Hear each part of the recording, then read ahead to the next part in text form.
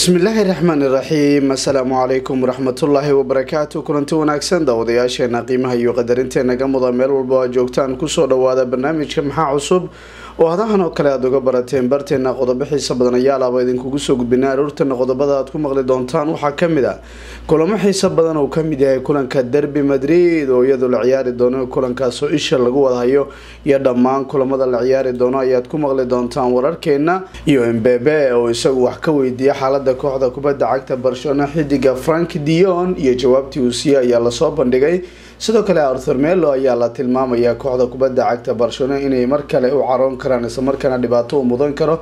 Ninka neymar aha wiilkan god ayuu ku sii wadaa. Nadiga kubadda cagta liverpool oo ay saaratay bedelka xidiga lagu magacaabo maxamed salaax unitedna bisha janaayo ay bangiga u jibin doontaa ericson nadiga kubadda cagta ee real madrid macalinkeeda zizu oo shan howlgal oo adag iyagoo ay sugayaan banka derby madrid iyo weliba kulamada toddobaadka premier league oo la saadaaliyey khesuus oo isagu sheegay inuu ka murugeysan yahay fursad la'aanta ka haysata dhinaca macalin pep guardiola.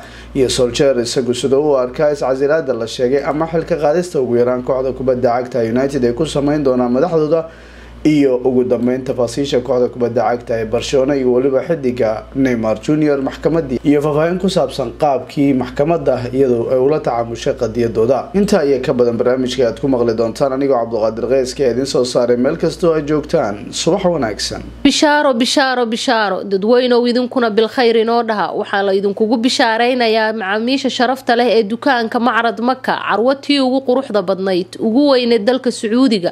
Waxay idiin haysaa dhammaan dharka qaybihiisa kala duwan. Sida duruucdii asliga ahaa baatiyada qaybihiisa kala duwan shaararkii ragga shaalalkii waxgaradka macaawiistii ragga cimaamadihii ragga. Ha ka tegina halkaas waxaad ka heli doontaan cadaradii udugooda aadka u sareeya lagu tilmaamay kii boodhari uu ku soo jiitay hodan.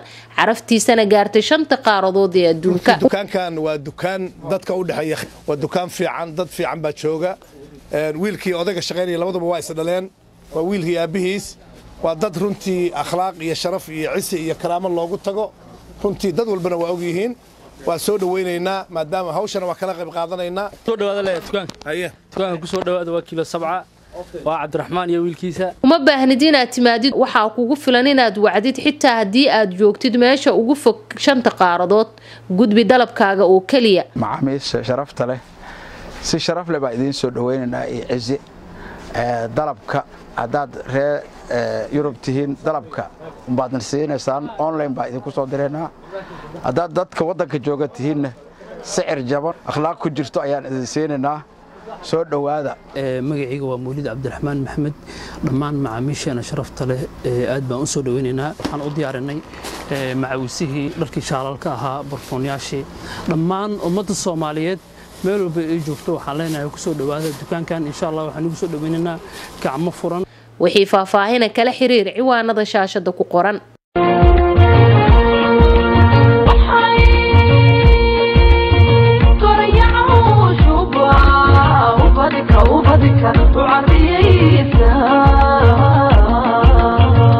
Kulanti wanaagsan daawadayaasheena qiimaha iyo qadarintenaga muda meel walba aad joogtaan ku soo dhawaada barnaamijka maxaa cusub nadiga kubadda cagta barcelona ayaa maxkamad la koreysa xidiga neymar junior. Wiilkan ayaa la tilmaamayaa kooxda kubadda cagta ee p s g isagoo haatan u ciyaara inuu ka tegay blograna islamarkaana laba kun iyo toddobiiyo tobankii markii uu ku biiray kooxda san german isagu dacwad ku soo ogay kooxda reer catalan waxaana uu ka doonayaa lacag dhan lix iyo labaatan milyan taasoo la tilmaamayo in iyadu ay la jirto lacag kale oo u dhiganta afartan iyo saddex milyan marka lagu daro lacagta afar iyo toban milyan oo xidiga xaq u lahaa iyo weliba kuwo kale.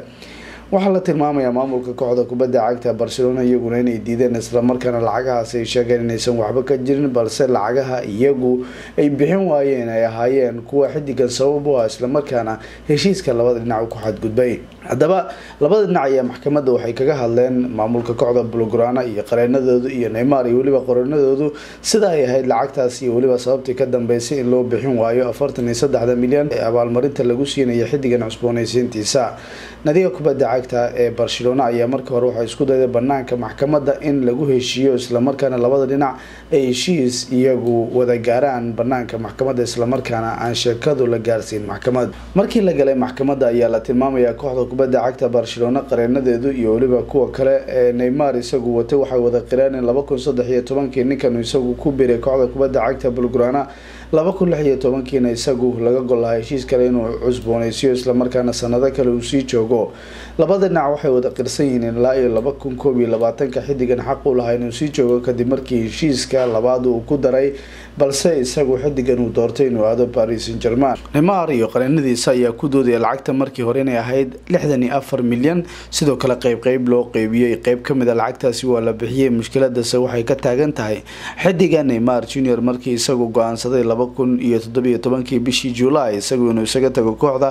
Islamarkaana xidigan uu aado kooxda kubadda cagta ee san german nadiga kubadda cagta ee bulogran ay diiday ilaa hadda ma jiro heshiis labada dhinac ay wada gaareen balse labada dhinac dood dheer kadib ayaa la tilmaamayaa iyagu in ay soo cadeyn doonaan islamarkaana kulan kale maxkamada laysugu iman doono. Waxaana nadiga kubadda cagta barcelona weli ay ku adkeysanaysaa xidigan in isagu ku xadgudbay islamarkaana ay ahayd ilaa iyo laba kun labaiyo labaatanka inuu sii joogo kooxda kubadda cagta ee barcelona ee kamnu xidiga haddii uu doortayna iyagu ay diideen in lacagtaasi abaalmarinta ay bixiyaan tababaraha kooxda kubadda cagta ee manchester united ayaa la tilmaamayaa soljar isagu inuusan waxba danaynaynin eedaha loo jeedinayo islamarkaana waqtiyadii ugu dambeeyay weerar kaga imanaya warbaahinta ninka soljar ayaa isagu wuxuu sheegay in xiqaab aan wanaagsanin xilciyaareedka ay ku bilowdeen islamarkaana kaalin aan u qalmin kooxda kubadda cagta united haatan ay joogaan. Sidoo kale sideed dhibcood ay haystaan lixdii kulan ay ciyaareen waxaanay ahayd shan iyo toban dhibcood ilaa iyo sideed iyo toban dhibcood inay helaan. Sidoo kale naadiga kubadda cagta manchester united ayaa waxaa la tilmaamaya qaab rafaad iyo ciriiri inay kaga soo baxeen kooxda rachel markaasoo wareega labaiyo soddonaad ee koobka karabow kaabka isku wajaheen.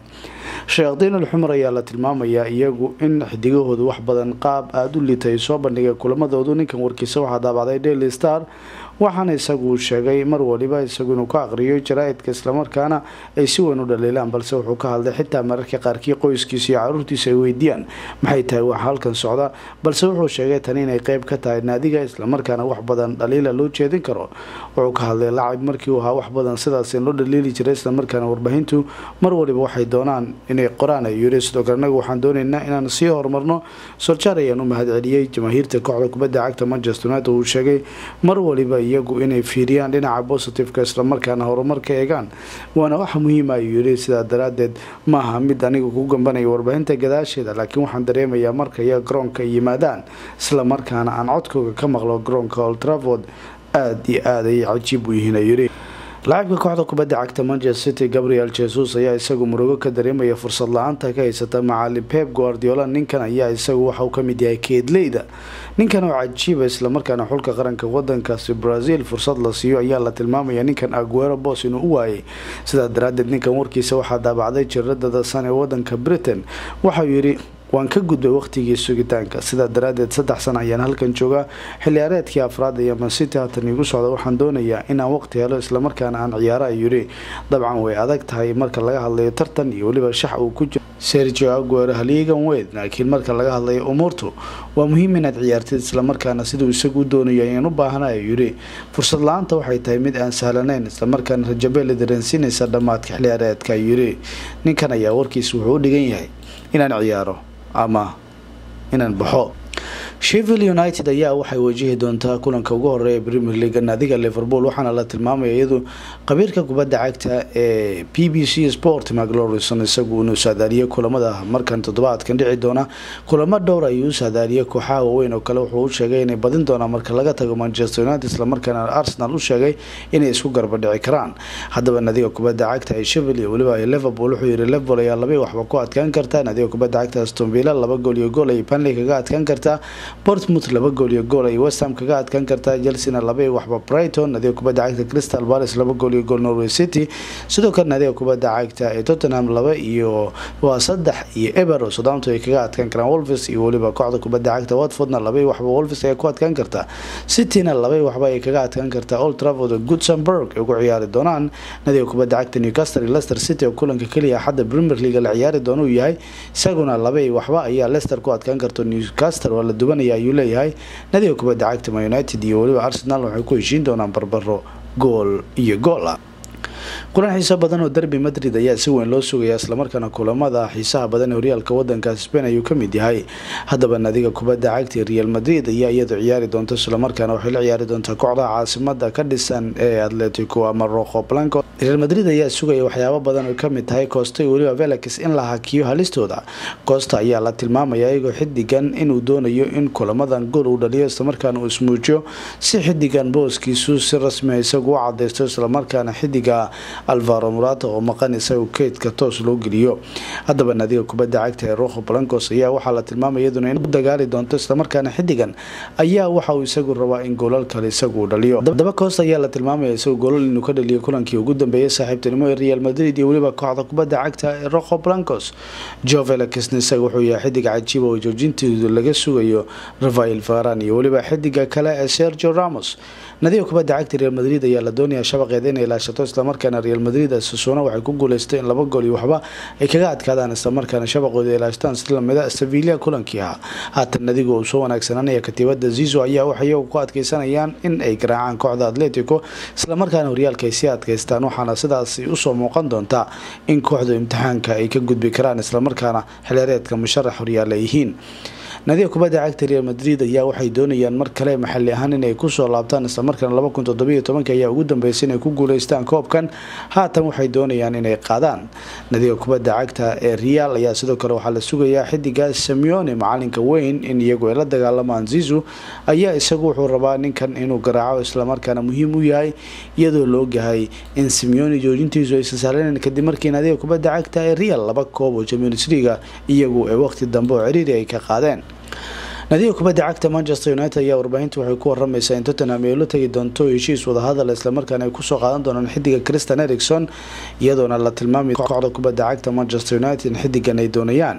Laacibka u dhashay wadanka denmark ayaa la tilmaamaya isagu inuu doonayo inuu isaga tago kooxda kubadda cagta spers ninkan ayaa la tilmaamaya manchester united suurtagal ay tahay xidigan isagu inuu ku biro walow real madrid xidigan uu doonayo islamarkaana uu rabay inuu aado qalcadda santiago bernabeo manchester united ayaa la tilmaamaya iyadu inay dooneyso in xidigan ay soo qaataan islamarkaana marka la gaaro bisha janaayo ay ku qanciyaan xidigan maadaama zizu isagu fursad uu ka heli kari waayo islamarkaana tiyadiisu xidigan uu ku qancin waayey shayatiin ulxumar ayaa la tilmaamaya iyadu wax badan inay eegeyso xidigan islamarkaana si bilaasha iyadu ay ku heli karto walow real iyo yuventusba ay u dhow yihiin bilaash. Laakiin marka la fiiriyo janaayo ay tottenham iyadu ugula tegi doontaa heshiis macquula oo toddobiyo labaatan jirkan ay ku soo qaadan doonaan warbaahinta dalka talyaanigana waxay ku waramaysaa nadiga kubadda cagta liverpool in haatan bay heshay xidigii badela maxamed salax islamarkaana waxay doonayaan inay soo qaataan laacib u ciyaara kooxda kubadda cagta ee amsterdam. Salax ayaa anvil iyo mid laba kun toddobiyo tobankii balse haatan waxaa la tilmaamaya inuu ka weynaanayo islamarkaana doonayo inuu u ciyaaro camaaliqooyinka spain. Laba xiliyaadeed uu joogay kooxda kubadda cagta ee liverpool katiibada yorgan colob bandhig cajiib ayuu la sameeyey xidiga masaarida waxaana dhowr jeer isagu abaalmarino shaqsi a musharax u ah. Sidoo kale ninkan ayaa noqday laacibka ugu fiican premier league tartamada waaweyn ayuu sidoo kale bandhig cajiiba ka sameeyey hor ayaa la tilmaamaya sida calcio ay ku waramayso ninka mustaqbalkiisa hata mugdi inuu ku jiro. Islamarkaana liverpool ayaa la tilmaamaya inay keeni doonto xidiga neres aix ay ka soo wadan doonaan waxaana xidigan suurtagal ay tahay ninka u dhashay wadankaasi masaarida inuu isaga baxo kooxda kubadda cagta liverpool. Xilaareedkii hore waxaa la xasuustaa david neres in bandhig cajiiba oo la sameeyay kooxda kubadda cagta aix amsterdam sidoo kale koobka horyaalka wadankaasi horan ayuu isagu la qaaday. Halka koobka champions league semifinalkiisa uu la gaaray kooxda kubadda cagta ayax neres ayaa la tilmaamaya isagu kulamadii ugu dambeeyay bandhig cajiib inuu sameynayo labada kooxood ee camaaliqooyinka spain ee real madrid iyo barcelona ayaa saraax iyagu doonaya inay qaataan islamarkaana waxay qiimeyn doonaan sida xaalkuu noqon doono. Arthur melo ayaa si weyn uga caraysiinaya kooxda kubadda cagta barcelona mas'uuliyiinteedu waxaana la tilmaamaya kahor kulanka gateve in mas'uuliyiinta kooxda kubadda cagta ee blugrana xidigan ay si weyn uga caroodeen. Daily mail ee wadanka britain ayaa waxay tilmaamaysaa islamarkaana xiganaysa jirada marka ee wadankaasi spain in laacibku uu ka qayb galay xaflada dhalashada neymar junior. Xidigahan u dhashay brazil ayaa la tilmaamaya iyagu sawir inay soo dhigeen barahooda instagram-ka ay ku leeyihiin islamarkaana waxaa la jooga xidigo kale iyadoona la tilmaamayo saacado kahor maxkamada in iyagu xaflada ay ku wada kulmeen ninkan kooxda kubadda cagta barcelona maxkamad geyn lahaa. Ayaa la tilmaamaya arthur isaguna xidigan inuu la dabaaldegayay kastoo xidigan isku wadan yihiin haddana waxaa la tilmaamayaa ka hor afartan iyo sideed saac kulanka gateva in isagu xidigan la ogyahay in waxaasi uu sameeya sidoo kale xiliyaareedkii hore ayaa la ogaa in cudurdaar u diray maamulka kooxda kubadda cagta barcelona. Kadib markii neymar junior isagu xafladiisa uu ka qeyb galay islamarkaana naadiga kubadda cagta ee barcelona ayaa la tilmaamayaa waqtigaasi in si weyn uga carootay islamarkaana xidigan ay u digeen. Lama oga tallaabada ay ka qaadan doonaan balse waa la ogaan doonaa.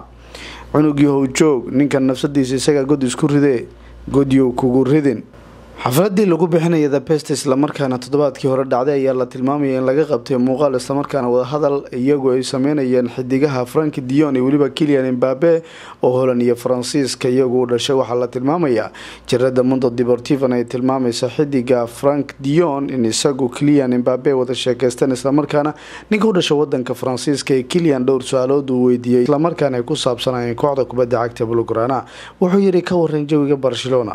Inta uu dhowlacadee frank ayaa waxauu yidhi ninkan haatan loo dhiibay boos aan booskiisa ahayn aada buu u fiican yahay. Kilian ayaa ku yidhi ha aada buu u fiican yahay. Maalmaha ugu horreeya laakiin way adag yihiin. Inta uu qoslay frank dion ayaa waxauu isagu raaciyay kilian waan is arki doonaa waan is arki doonaa lama oga sida sheekada ay noqon doonto laakiin ninka u dhashay wadankaasi holandeeska ayaa la tilmaamaya haatan in si qurux badan uula qabsaday kooxda katalaanka islamarkaana haatan uu baranaya luqada spain. Sidoo kale mustawihiisu aada buu u wanaagsanaa kulamadii ugu dambeeyay u ciyaaray inkastoo xitaa booskiisa uusan u ciyaaray. Mundo deportivo ayaa dhowaan codeyn u qaaday jaamaahiirta kooxda kubadda cagta blugrana islamarkaana waxay codsadeen haddii ay doonayaan kilian imbabe ama neymar junior. Balse lama filaanku wuxuu ahaa koob iyo sagaashan boqolkiiba inay u codeeyeen in la keeno xidiga kilian imbabe halkii la keeni lahaa neymar junior. Kulamo xiisa badan ayaa la ciyaari doona nadiga kubadda cagta ee shivil ayaa ciyaari doonta kooxda kubadda cagta liverpool ayay wajihi doontaa waa labada iyo qadar soddon daqiiqo. Sidoo kale kulamada waaweyn chelsea oo kale brighton ay la ciyaari doonta waa shanta galabnimo. Sidoo kale tottenham iyo southampton kulan kale waxauu yahay everton iyo weliba manchester city. Waa toddobada iyo qadar soddon daqiiqo. Kulamo ka tirsan horyaalka wadankaasi spain iyo weliba horyaalka wadankaasi talyaaniga kulamada xiisaha badan ee f eda premier league xataa waa jiri doona haweenka manchester united iyo liverpool ayaa is arki doono. Haddii aanu eegno horyaalka wadankaasi spain ama laliigaha kulan xiisa badan ayaa dhici doono. Nadiga kubadda cagta ee barcelona oo ay ciyaari doontaa gatefa shanta galabnimo ayay la ciyaari doontaa sidoo kale atletic madrid iyo weliba kooxda kale ee real madrid ayaa ciyaari doona ciyaar xiisa badan oo si weyn loo sugayo iyaduna. Tobanka habeenimo ayay ciyaari doonaan horyaalka wadankaasi talyaanigana kulamo kale xiiso badan ayaa sugi ayaa la ciyaari doona ventus waxay jirtaa afarta galabnimo sidoo kale nadiga kubadda cagta inter iyo sambadoriana guriga sambadoria toddobada fiidnimo ayaa lagu ciyaari doonaa. Inter beryan waa ay kacadsantahay waa la daawan karaa. Inter barejawaagii ay ahayd waa ay ka baxday haatan. Guddaan barnaamijka maxaa cusub baa naga inta daawadayaal intaanu kulmi doono barnaamijkan mid la mid a salaam